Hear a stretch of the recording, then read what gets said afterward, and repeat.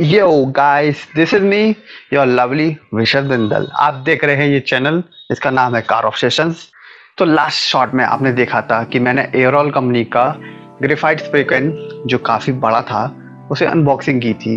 और इस वीडियो में मैं दिखाऊँगा कि वो क्या क्या काम के लिए आता है। मोस्टली वो आपको वाइपर ब्लेड जो आपके वाइपर ब्लेड्स हैं, उसको रिस्टोर करने के बहुत काम आएगा। आपके जो पुराने ब्लेड्स हैं, जो अब सही से वाइप आउट नहीं कर पा रहे हैं पर उसकी रबड़ ना कहीं से चिपा हुई है, ना टूटी है, ना कुछ हुआ है, लेकिन काम नहीं कर रही है। तो उसे फिर से रिस्टोर करने के बहुत काम आएगा।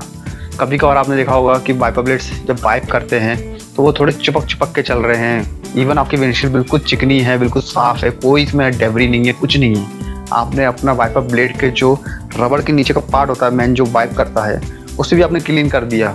आइसोप्रोपाइल एल्कोहल से या रबिंग एल्कोहल बोलते हैं उसके बावजूद भी वो सही से वाइप नहीं कर रहा है अटक अटक के चल रहा है चपक के चल रहा है सही से स्मूथली वर्क नहीं कर रहा।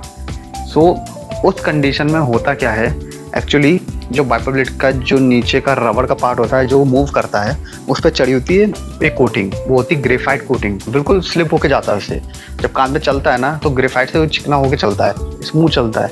आगे उसके बिना रबड़ तो चपक चपक के चलेगी गर्म होके। ग्रेफाइट उसको ज़्यादा गर्म होने से बचाता है और साथ ही साथ स्लाइड करके ग्लाइड करके चलाता है। बिना उस कोटिंग के वो चुपक जाएगी रबड़ टूट जाएगी, खराब हो जाएगी। तो होता क्या है, जब पुरानी हो जाती है वाइपर ब्लेड्स ग्रेफाइट की कोटिंग निकल जाती धीरे धीरे बिल्कुल खत्म हो जाती है।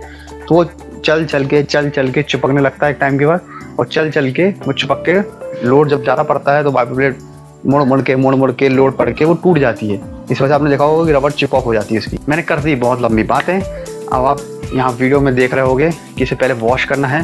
जो आपका वाइपर ब्लेड होगा, उसे आपको वॉश करना है। वॉश करने के बाद आपको उसे ड्राई करना है तरीके से। डेबरी फ्री बनाना है, बिल्कुल। उसके बाद ही उसको अच्छे से स्प्रे को हिलाने के बाद, जैसा कि आप वीडियो में देख पा रहे होगे, उसको हिलाने के बाद उसे बस अच्छे से एक पकड़ के स्प्रे कैन से इसको स्प्रे करना होता है। तो चलते हैं, उसे यूज़ करके दिखाता हूँ।